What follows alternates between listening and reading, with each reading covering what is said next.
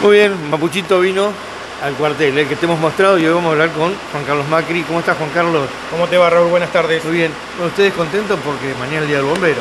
Contento porque mañana se acerca un aniversario más de los cuerpos bomberos de la República Argentina, así que venimos de dos años de pandemia que mucha gente no ha llamado, las escuelas no han preguntado si bombero va a salir mañana a la calle a la típica caravana que hacíamos a las 12 del mediodía de, de todos los 2 de junio.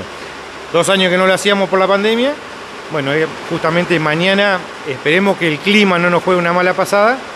Eh, la idea es sacar toda la flota, pero bueno, depende del clima, por ahí si vemos que seguimos con este clima y con lluvia, por ahí vamos a sacar flota reducida.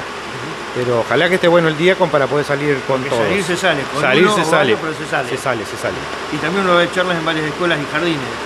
Sí, nosotros optamos justamente, se estuvo analizando con el área de capacitación nuestra, con los suboficiales.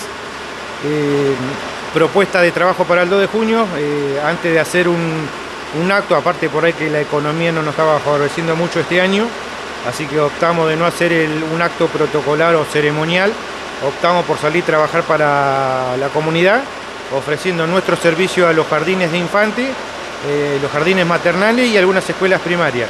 Se hizo un trabajo de enviar notas en la semana para que cada directivo de cada establecimiento pueda confirmar en el día de, en el transcurso de la semana antes del 2 de junio, eh, coordinar con el área para qué tipo de visitas, porque hay jardines que le encanta hacer simulacro, donde vamos nosotros con el autobomba y apagamos, en otros lugares se dan charlas, depende de las edades de los chicos, es el trabajo que se realiza. Y esto va a ser mañana también. Esto es todo el día mañana, porque mañana arrancamos de las 8 de la mañana y va a durar hasta las 5 de la tarde que finalicen las últimas horas de, de clase de los turnos tarde. ¿Por qué mañana? Porque tenemos, no digo, no puedo decir que tengo la totalidad del personal para mañana porque sabemos que venimos de dos años de pandemia, las situaciones laborales fueron muy críticas para muchos de mis hombres, así que no cuentan con los permisos laborales en gran parte, pero sí todos aquellos que lograron tener el, el, día libre, por decirlo así, por ser el día del bombero voluntario. Todo ese personal va a estar trabajando de las 8 de la mañana hasta que finalice, ya te digo, las 17 horas con los trabajos de, de escuela y jardines. La idea es hacerlo todo mañana por una cuestión de eso, que mañana tengo gran parte de la totalidad y en, fuera de este día de, de aniversario se nos va a complicar por la concurrencia de nuestro personal. Eh, mañana antes de salir hay una formación acá adentro. Sí, mañana antes de salir hacemos siempre una formación en la salida de los portones, que es el, la bandera de ceremonia eh, por el minuto que dure el toque de sirena. Una vez que finalice el toque de sirena se rompe la formación y ya ahí ya se preparan la, la, la flota para empezar el recorrido. Juan Carlos, ¿cómo está la institución en líneas generales? Hoy nosotros lo que es equipamiento y flota estamos muy bien. Eh, a ver, siempre no hace falta, somos ambiciosos como siempre lo digo. La idea es seguir trabajando. Eh, ya te digo, son dos años que nos jugó una mala pasada en la parte económica con subsidios. Así que bueno, eh, siempre estamos comprando algo. Hoy estamos, bueno, tampoco el día nos, permitió seguir. Estamos haciendo trabajo de pinturas.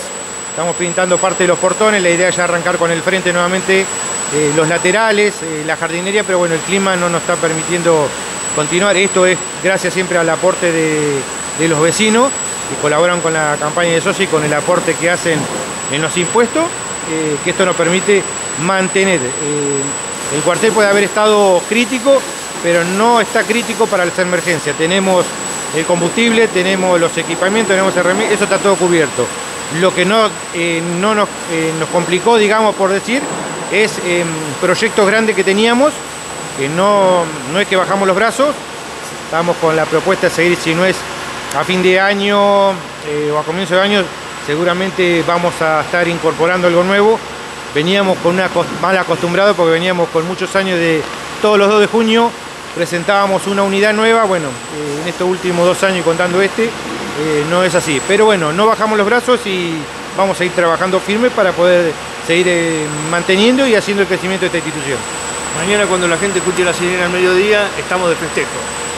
Mañana a las 12 del mediodía cuando escuche la sirena, que por ahí que se queden tranquilos, sabemos que hay muchos vecinos que van a llamar preguntando qué es lo que pasó, pero bueno, eh, la idea es que se queden tranquilos, que mañana es el Día del Bombero Argentino y creo que no solo Carmen de Patagones, sino todos los cuerpos bomberos de la República Argentina en distintos horarios tienen su método, su forma de, festejo en este día.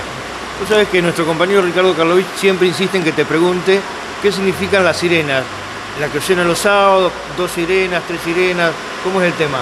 Sí, los días sábados eh, todos los cuarteles tienen un día y un horario. Nosotros eh, se hizo el, sábado a las 12 del mediodía, que fue uno de los días puntos de cuando se inaugura la sirena. Y a su vez a nosotros nos sirve como prueba de equipo, es decir, saber que esa, esa sirena tocándola una vez por semana, el mecanismo funciona una sirena que no cumple un mecanismo de prueba eh, se puede perjudicar los bolilleros, motor, y a la hora que la quieramos tocar por una emergencia no va a estar funcionando. Eso por un lado es una sola sirena el día sábado a las 12 del mediodía. Muchos vecinos la tienen como que para ustedes concluye la semana laboral. No, no, no, nosotros no tenemos, eh, no tenemos comienzo ni final. Eh, a ver, estamos los 365 días y a presto a cualquier emergencia. ahora estoy hablando con vos, puede detonar una alarma interna y hay que salir corriendo.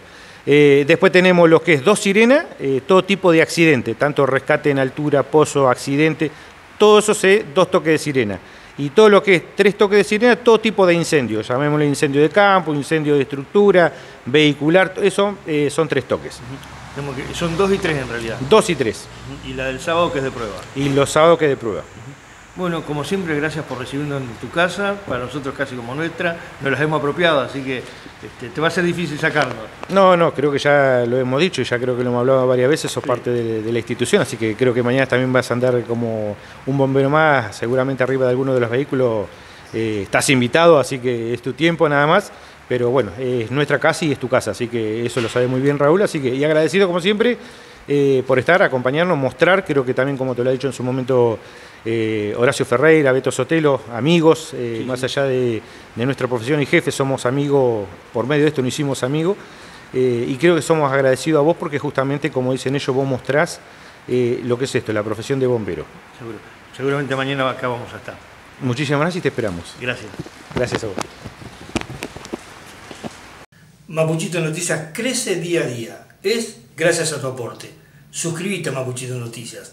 Dale click a la campanita. La Luisita, fábrica de pastas artesanales. Tenemos las pastas tradicionales, pero también innovamos con nuevas pastas y sabores. La Luisita, a la vanguardia, desde la comarca para la región. 25 de mayo 455, Viedma. Carnicería La Diagonal. Tenemos para ofrecer carne de ternera, carne de lanar, borrego, cordero, capón, lechones, cerdo, pollos de campo, embutidos de elaboración propia, hamburguesas, chorizo puro cerdo, milanesas, matambre relleno, salamines caseros. Las mejores parrilladas de ternera y cordero. Seguinos en nuestras redes sociales. Instagram, arroba carnicería la diagonal 2020. Facebook, carnicería la diagonal.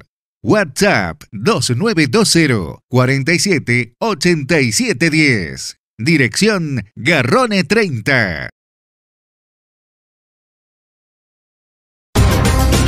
Metalúrgica Saocor. Somos fabricantes de cortinas metálicas, de aluminio y acero inyectado, automatización de portones, cortinas estándar, blindadas, microperforadas, acero inoxidable, galvanizadas, ventas de motores y repuestos, con un servicio postventa y todo asesoramiento personalizado. Comunicate al 2920 15 30 80 27 o encontranos en Facebook como Saocor o en nuestro local Antártida Argentina 3300 96, San Antonio Oeste, Río Negro, porque lo más importante es lo que hay detrás de la cortina.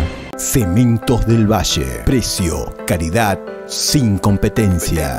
Llama al 2920 47 66 81 al 52 15 32 Parque Industrial Carmen de Patagones.